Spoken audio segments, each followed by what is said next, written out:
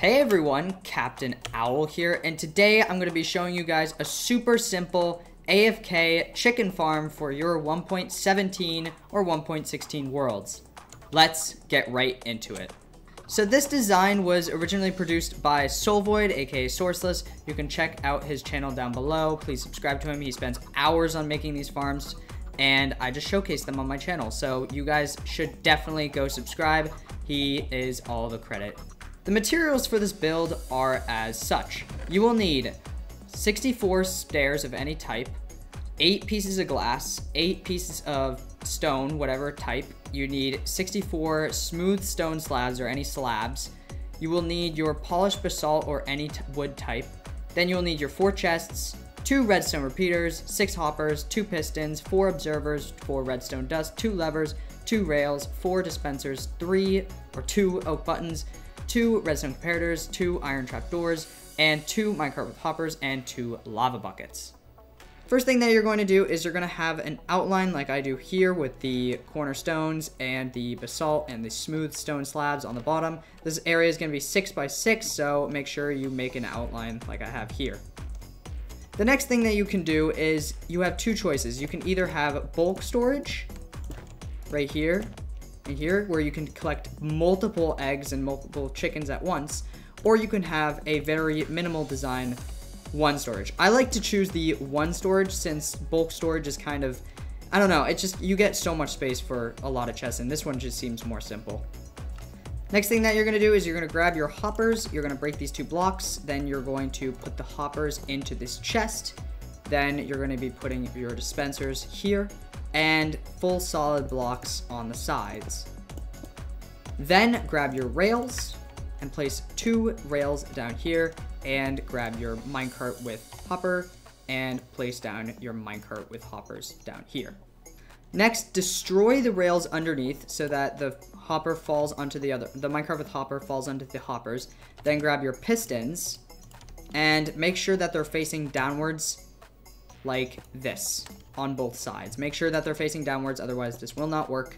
Then put slabs right above the hopper with minecarts, and then grab a lever or a button, doesn't really matter, whichever works. Grab a lever, two levers, and just push the slab into the hopper. This helps stabilize it in some way.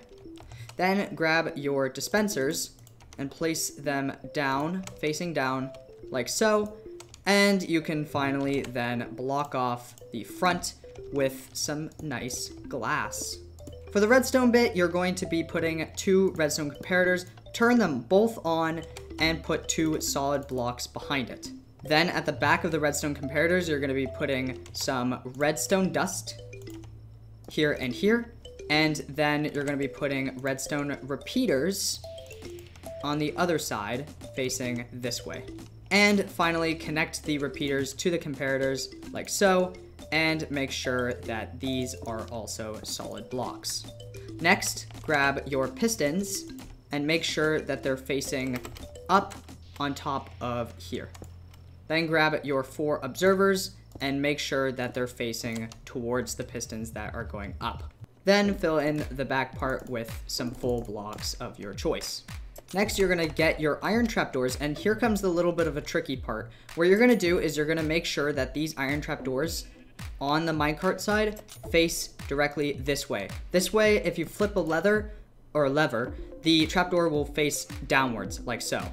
Now you're gonna want these to keep these up for now, but do this on both sides so that make sure that both of them can close like the way I showed you. Then go ahead and grab your levers and just place them on the interior of that, and then you can flip them on as such. Do the same on the other side. Next, you're gonna grab your hoppers and put a hopper from the dispenser to the trap door, and do this on both sides so that the symmetry and the whole thing works. Then you're just gonna grab your stairs and you're gonna decorate the place a little bit more nicely than you would previously, just because open gaps don't really fit with this build. Do the same on both sides. Make sure that they're just, you know, make the place look a little bit nicer than you found it. Next, you can finally fill in all these blocks except for the piston bit. So you can fill in this block, this block, this block, this block, this block, and this block. If you look up, it might look like a creeper face. Coming around to the back, you just want to fill up this area with some nice touches to the back. You might want to put some stairs here, whatever your fancy. I would rather put stairs here as well, just to make it look a little bit nicer. Now, if you haven't placed down your lava buckets, I would highly recommend doing so right now. They're gonna be tested just a little bit here, and they're just gonna fire once while completely staying still. This means it has worked, so then just grab your eggs and your chickens, whatever the case. You're just gonna grab chickens, eggs, and you're gonna just throw 16 eggs into the hopper. Whoops, I missed here. You're gonna throw 16 eggs in the hopper here, and then it starts firing. And then you can grab 16 more chickens or eggs of your fancy. Let's throw more in here. And let's spawn in some chickens in here. You might want to have chickens at the ready as well so they start producing eggs. And as we come to the front here, the chickens are already in the minecarts ready to be killed by the lava when they grow up. So guys, this was a really easy and fun tutorial to make a chicken farm in your 1.17 worlds. I hope you guys enjoyed it. Captain Owl here, signing off. Udon.